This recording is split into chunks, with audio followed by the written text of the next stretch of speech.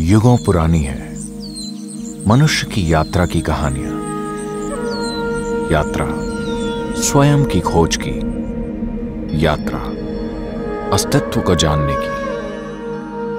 कई बार ऐसी यात्राएँ कुछ सालों में पूरी हो जाती हैं।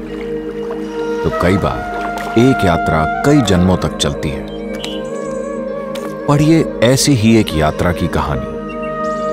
एक असाधारण मनुष्य की कहानी।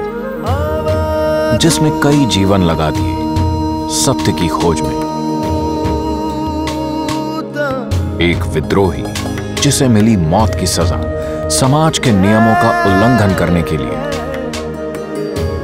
और 300 साल बाद, वो बना आध्यात्म की क्रांति से विश्व को हिलाने वाला वो इंसान, जिसे आज हम सदगुरु के नाम से जानते हैं। एक आत्मज्ञानी युग दृष्टा और योगी, जिनकी सत्य की खोज उन्हें ले गई जीवन और मृत्यु के परे।